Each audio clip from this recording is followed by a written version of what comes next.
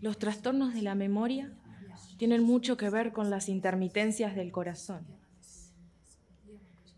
Los días van cayendo sobre los anteriores y los entierran los siguientes.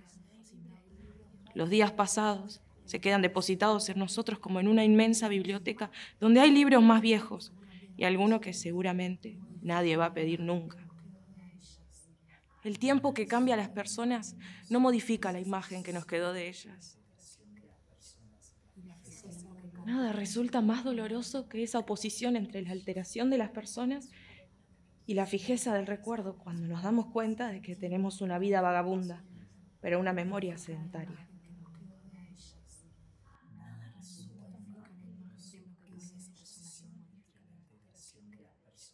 Y la